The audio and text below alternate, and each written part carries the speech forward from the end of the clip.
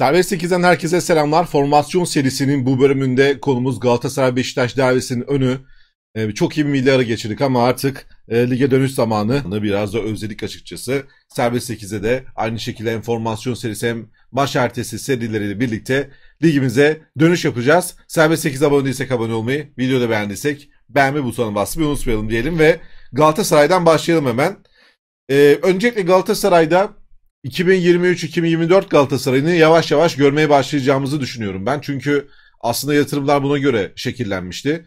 İşte hatta Icardi dahil olmak üzere Icardi, Zaha, e, Hakim Ziyech, Endombele bu oyuncular hepsi yani Ekim, Kasım ayı gibi e, daha fit hale geleceklerdi. Zaten planlamaya göre geldikleri seviyede biraz daha hazır olmaları gerekiyordu.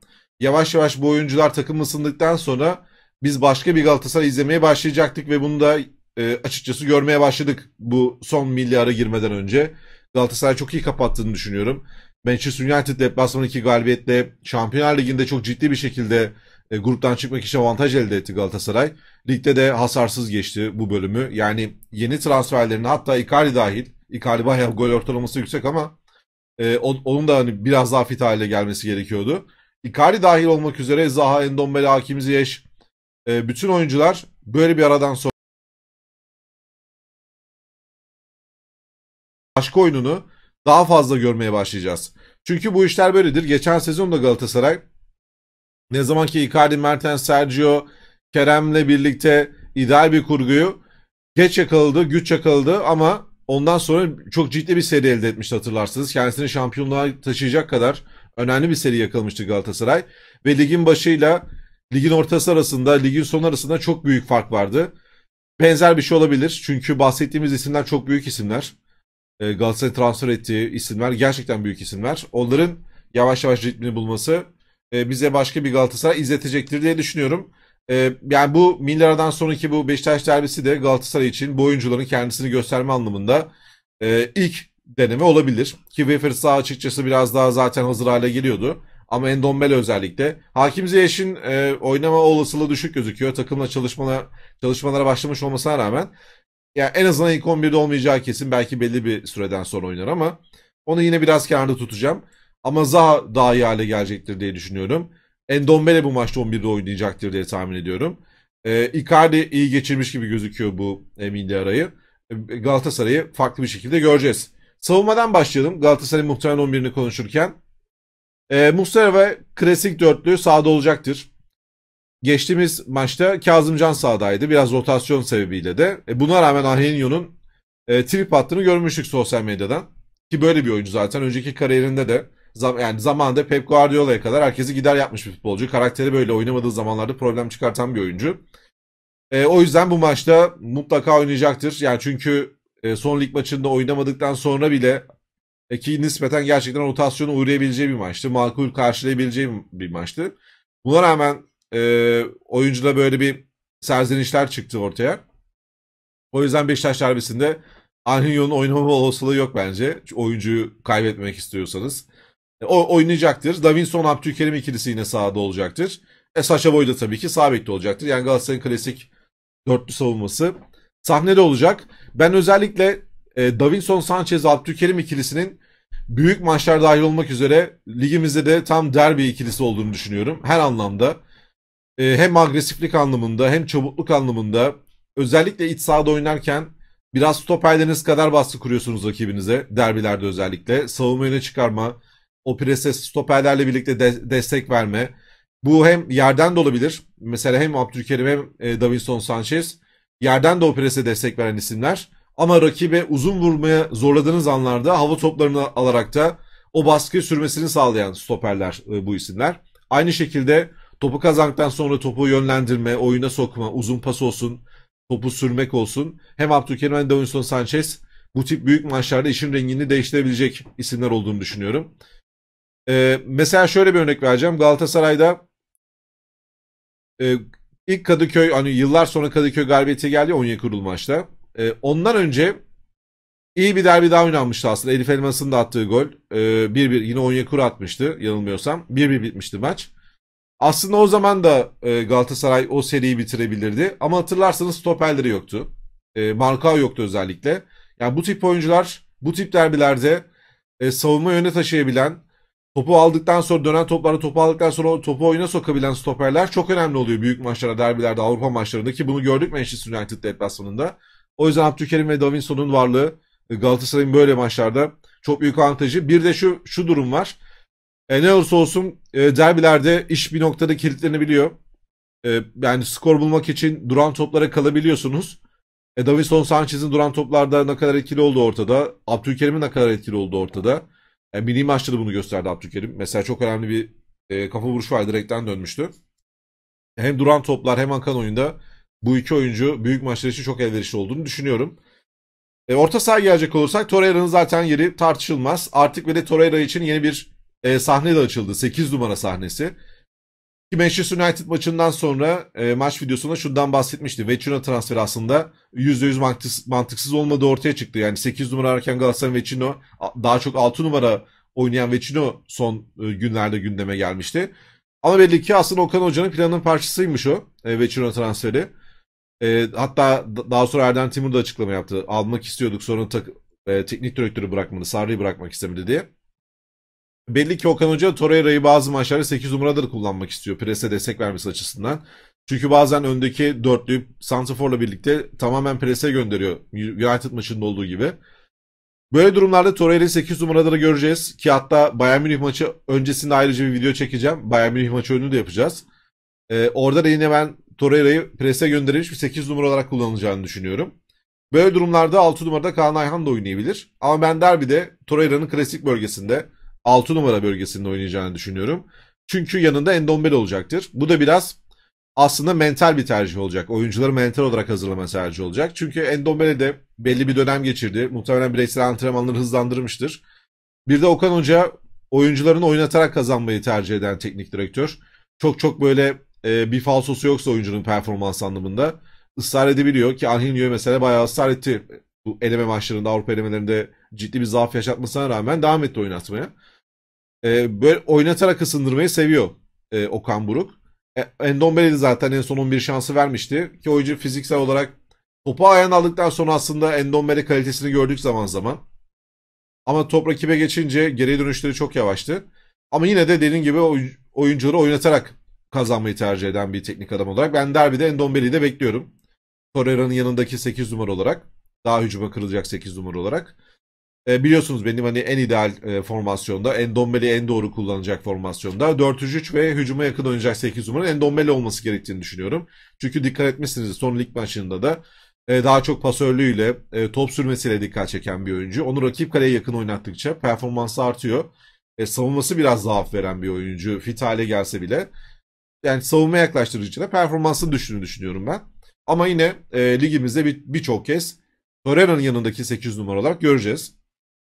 Ki bu maçta onlardan biri olacak gibi gözüküyor. Çünkü Bayern Münih maçında e, Endombele oynamayabilir. Yine Kaan Ayhan Torreira'lı sistem hani United maçında gördüğümüz formasyon olabilir. Hem derbide oynatmayıp hem Bayern Münih maçında 11'de oynatmamazlık yapmaz diye düşünüyorum e, Endombele'yi kazanmak açısından. O yüzden Torreira Endombele olacaktır.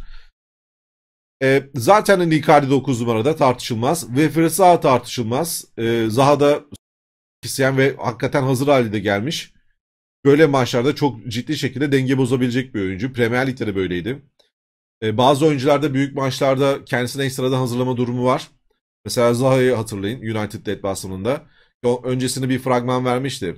Ee, yine lig maçında, Ankara gücü maçında ama e, çok fazla patladı mesela o dönemde. United maçı yaklaştıkça performansını çok fazla patlattı. Bazı oyuncular öyledir. Fixture'da büyük maçı gördüğü anda oraya özel olarak hazırlarlar. E, bu da sonuçlar bir derbi maçı ve Weber sağ mutlaka 11'de olmak, olmak isteyecektir. Bunu hatta talep bile edebilir. Dile de getirebilir bu tip oyuncular. O yüzden Weber sahayı da hem Bayern Münih maçında hem bu maçta e, 11'de göreceğiz. Muhtemelen oyunun devamında e, bir saklama daha doğrusu dinlendirme olabilir skora göre. E, Bayern Münih maçında biraz daha saklamak isterse e, Okan Hoca ama 11'de olacaktır diye, düşün, diye düşünüyorum.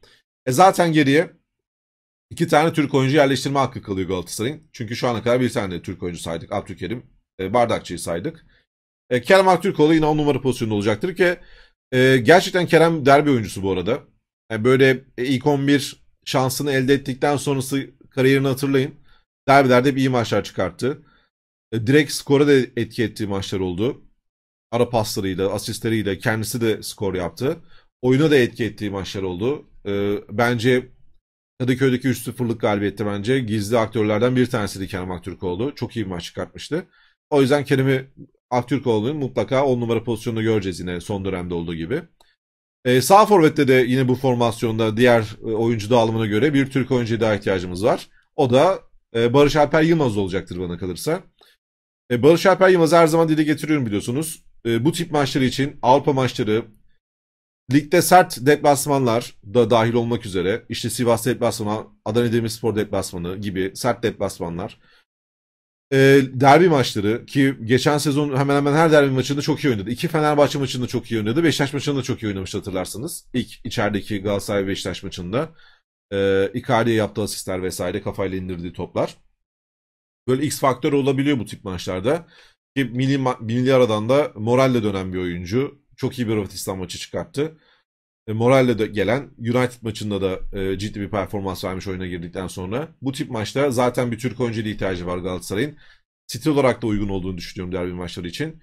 Bu maçlarda mesela e, pres yaparak e, Galatasaray'ın pres gücünü yükseltebilir. Icardi'yi rahatlatabilir fiziksel gücüyle. İkili mücadele kenar forvetten dahil olup o ikili mücadele hengamelere Barış Alper girebilir.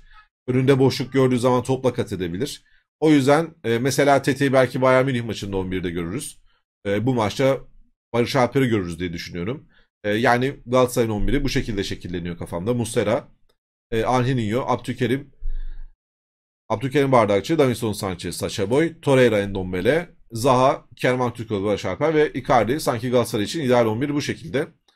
E, nasıl bir maç planıyla çıkar? Benim düşüncem şöyle. Biraz Bayern Münih maçı da tabii ki düşünülebilir ve benzer 11'ler. Hani belki işte Kaan Ayhan, Tete ufak tefek farklılıklar olabilir ama çoğu oyuncu bu derbi maçına çıkacak. Çoğu oyuncu Bayern Münih maçından 11'de çıkacak. O yüzden Galatasaray'ın bence Beşiktaş karşısındaki amacı e, maçı başlarında skor bulmak olacaktır. Yani baskılı presle başlayacağını düşünüyorum Galatasaray'ın ki zaten United deplasmanı dahil olmak üzere hemen hemen her maçta bunu yapıyor Galatasaray. O, o rakibe caydırıcılığı pres gücüyle vermeye çalışıyor. Burada da iç saha avantajını kullanıp, seyirci avantajını kullanıp e, o caydırıcı presle, maçın başındaki presle skoru bulup maçın sonlarına doğru aktif dinlenmeye geçip hem oyuncu değişiklikleri hem böyle topu dolaştırarak e, daha sonra skoru korumaya geçebilir. Mesela yeterli skoru aldıktan sonra maçın planı bu olacaktır diye düşünüyorum ben Galatasaray'da. Yani Bayern Münih maçını 11 ilk 11 tercihiyle değil de maç planı olarak düşünecektir. Hani maçı erkenden kazanıp e, presle baskıyla iç saha avantajı kullanarak daha sonra aktif dinlenme, oyuncu değişiklikleri e, biraz daha Bayern Münih maçına saklayalım. Çünkü gerçekten özgüven yakaladı oyuncular. Bayern Münih yani Bayern Münih karşısında galibiyette beraberlikte imkansız gelmiyordur oyunculara United deplasmanında kazanıp gelmek. Tabii ki çok daha zor bir rakip Bayern Münih hakikaten yakaladığı zaman ters skorlar da alabilen bir takım. E, bunu ayrıca konuşacağız ama e, şu anda hedef maçlardan birisi haline geldi bu özgüvenle birlikte. Ya Bayern Münih'e karşı neden olmasın diyordur Galatasaray. O yüzden derbi maçını da bu şekilde geçirecektir diye düşünüyorum. Şimdi Beşiktaş kısmına geçelim. Beşiktaş'ta ise ilk 11'de biraz daha fazla kafa karışıklığı var. E, Türk oyuncuları dağıtma konusunda, e, Erik Bayin'in sakatlığı sonrasında sağ stoperde kimin olacağı konusunda, e, Abu Bakar mutlaka 9 numara olacaktır ama etrafında hangi kenar forvet olacak olacak konusunda, orta saha kurgusu konusunda, hatta formasyon konusunda e, Birçok kafa karışıklığı var. Farklı muhtemelen 11'ler gel- geliyor muhabirlerden. E, hem onları okudum, gelen haberleri hem sakatlık durumlarını okudum. E, birazdan Beşiktaş 11'i nispeten Galatasaray'a göre biraz daha belirsiz. Daha farklı bir isimlerle tercih edilebilir. Mesela Tayfur Bingöl dahi düşünülüyormuş. E, yani biraz daha enerji katmak anlamında orta sahaya 3-4-3'te ki hakikaten oyuna girdikten sonra o enerjiyi kattı. Beşiktaş'ı böyle öne doğru taşıdı e, Tayfur. Böyle bir sürpriz hamle de gelebilir. Yani biraz daha farklı bir beklentiler var Beşiktaş 11'inde. E, Burak Yılmaz için de önemli bir maç.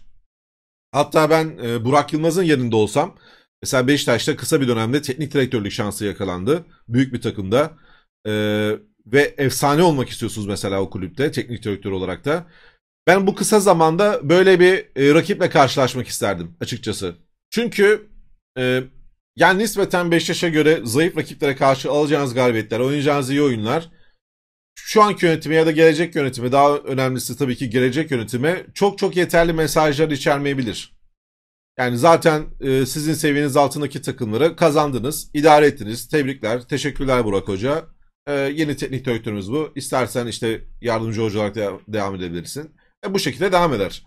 E, yani zaten çok kazanması sürpriz olmayacak maçlarda Beşiktaş'ın. Zaten hani rakibine göre üstün olabileceği maçları kazanması çok çok yeterli emareler vermeyebilir yönetimlere, e, karar alıcılara.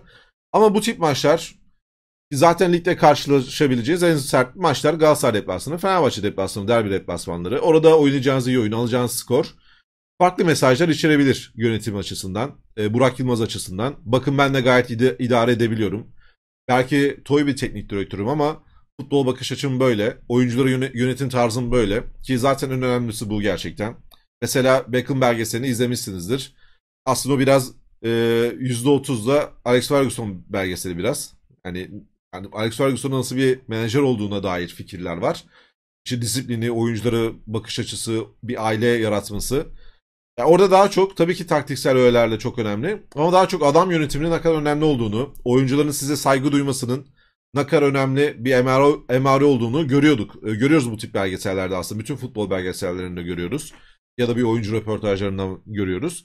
O yüzden Burak Yılmaz'ın oyuncu yönetimi konusunda bu tip maçları motivasyon etme, motive etmesi konusunda ta, tabii ki taktiksel e, başarı konusunda kendisini ispat için bu tip maçlara ihtiyacı var. Mesela burada alacağı bir skor, buradan alacağı, çıkartacağı iyi bir oyun e, gerçekten onu daha kalıcı, bir müddet daha kalıcı, daha uzun süreli düşünme fırsatı verecektir diye düşünüyorum. O yüzden Burak Yılmaz için bir fırsat olabilir bu. Peki nasıl bir 11 ile çıkabilir? E, kalede Mert dönüyor. E, sakatlığı düzeliyor. Erik Bay'ın sakatlığı tabii ki önemli ki sürpriz de değil maalesef. Yani Beşiktaş transfer dönemine artık tekrar tekrar girmek istemiyorum ama e, en kritik bölgelerine çok soru işaretli oyuncular dahil etti. Onlardan bir tanesi de stoper bölgesiydi ve şu anda çok kritik bir maçta e, bütçe hani maaş olarak en yüksek maaşı verdiğiniz stoperiniz, birinci stoperiniz yok. E, o yüzden e, gerçekten kötü bir transfer dönemiydi. Omar Kore olacaktır mutlaka sol stoperde. Sağ stoperde kimin olacağı belirsiz. Amartya ya da Necip olması bekleniyor haliyle. E, son 11'lerde Amartya ismi geçiyor. Ki hoca son e, Amartya'yı kullanmıştı son olarak. Ama ben Necip'i daha iyi stoper olarak görüyorum açıkçası. Ki Necip'in daha bir performansları hiç fena olmuyor e, kendi, iç, kendi içerisindeki o aidiyet duygusuyla hakikaten Beşiktaş'ta doğmuş ve Beşiktaş'ta kariyerini devam eden bir e, futbolcu ve bunun örneği çok az var. Günümüz futbolda örneği çok az var yani 90'larda 80'lerde oluyor böyle işte. İşte son örneklerden bir tane Rıza Çalınbay. Hani Beşiktaş'ta başlayıp Beşiktaş'ta bitirmek yıllarca oynadıktan sonra. Çok çok böyle örneği yok. Necip gerçekten Beşiktaş'ta doğmuş. Beşiktaş'ta gelişimini sürdürmüş. Bazen 11 olmuş. Çoğunlukla yedek olmuş farklı farklı rollerde oynamış ama hakikaten yıllarca Beşiktaş formasını giyen bir oyuncu. Ya Guti vardı ya takımda düşün yani. Necip ilk böyle yavaş yavaş 11 fırsatını yakaladığında orta sahada Guti ile beraber oynuyordu yani.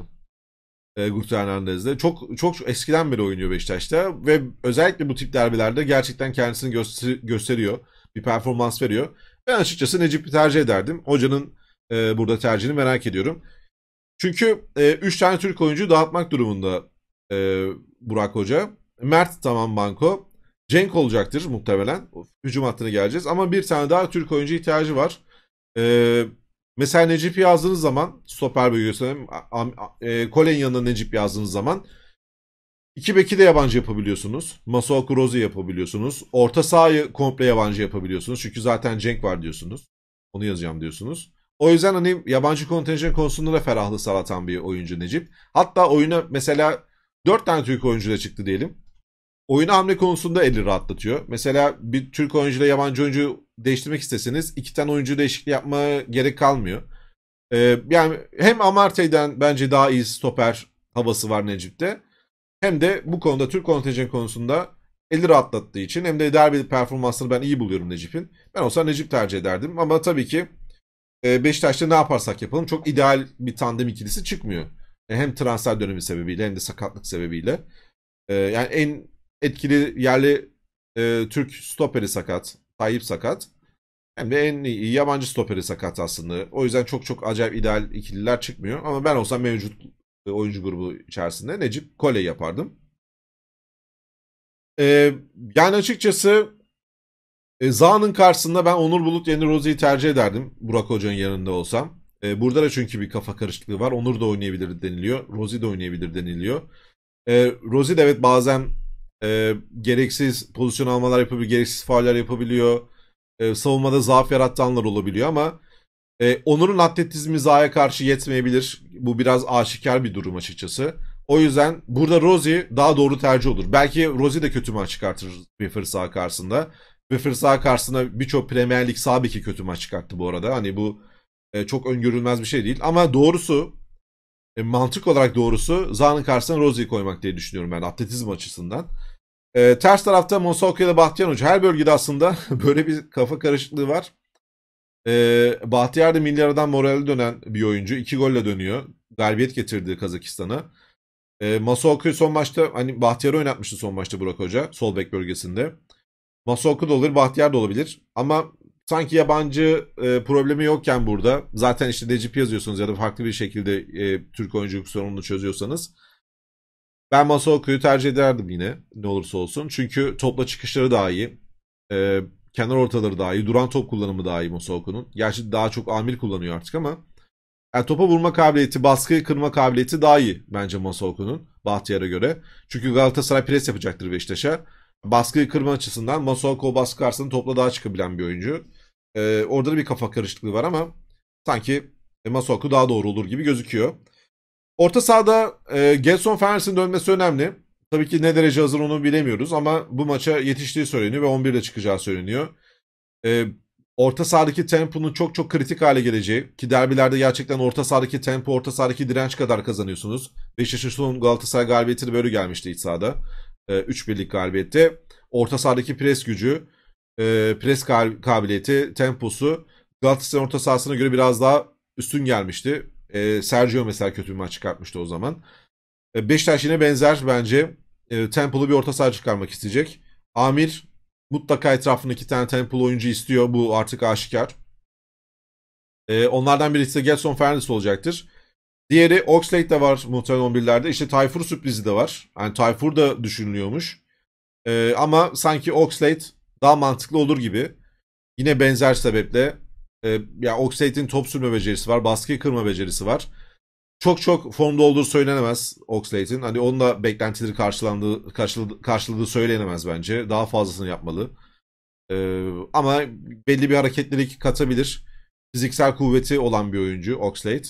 E, ne olursa olsun Premier Lig'den gelmiş bir oyuncu. Son dönemlerinde zaman zaman sakat geçirse de. O yüzden Gerson Oxlade Amir'in etrafında sanki tempoyu daha sağlıklı sağlayabilecek. Top ayağına alınca da e, daha farklı işler yapabilecek oyuncular diye düşünüyorum. Sanki doğru orta saha kurgusu böyle olur bu maçta. E, biliyorsunuz benim aslında gelecekte Raşista'yı bu bölgede kullanma fikrim var. Bence Raşista'dan çok iyi bir iç orta saha çıkar. Aslında Galatasaray'a gelirken de hani Galatasaray gelme ihtimali varken de bu önerileri sunuyordum hatırlarsanız. Ee, yani 4-3-3'te orta sahada da kullanabilecek bir oyuncu. Temple orta saha, Drinkmich orta saha olarak kullanabilecek bir oyuncu. Ee, Raşitsa. İlerleyen dönemlerde belki bu bölgede de görürüz Beşiktaş'ta ama bunu derbiyle başlatmayabilir e, doğal olarak. O yüzden Oxlade, Amir, Gelson mantıklı. E, Gezal'in 11'de olması beklenmiyor. Aslında son maçtaki performansı gayet iyiydi. E, Raşitsa'yı daha çok hoca düşünüyormuş. Bunu da şöyle bir mantık aradabilir. Şimdi Cenk Tosun oynayacaktır mutlaka. Çünkü e, Galatasaray kısmında Anhinho gibi işte Zaha gibi oyunculardan bahsettiğim şeyler Cenk için geçerli. Böyle bu tip büyük maçlarda oynamak ister. Derbilerde oynamak ister. E, mesela geçen sezon çok iyi derbi performansları var. İşte Kadıköy deplasmanı gibi. E, ve bir takım lideri de ar- aradığınızda Cenk o isimlerden bir tanesi oluyor Beşiktaş'ta. O yüzden e, Cenk Tosun olacaktır sol forvet bölgesinde diye düşünüyorum. Ee, e, Abu Bakar zaten 9 numarada. Yani bir tane hani Gezali de koyunca e, rakip takım savunmaya çok fazla ön planı çıkartınca, çok fazla pres yapınca, kaleden uzaklaştırınca bu üçlü e, hücum hattını driplingçi oyuncu aray aray arayabiliyorsunuz yani. Hem Gezal de ekleyince oraya, Gezal, Abu Bakar, Cenk Tosun biraz set üçlüsü. Yani sete yerleşen tarafın Beşiktaş olması lazım.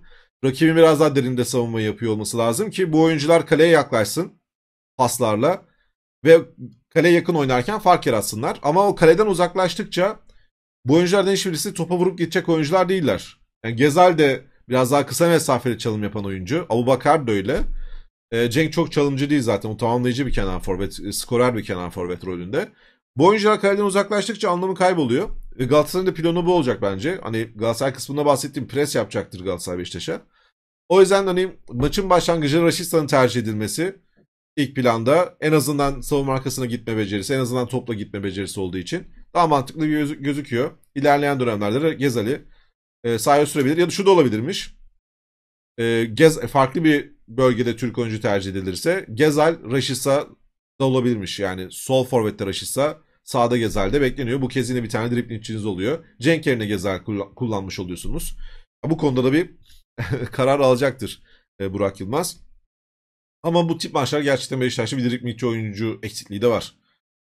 Ee, yani birebir oynayıp e, beklere problem çıkartacak oyuncu eksikliği var Beşiktaş'ta kenarda da.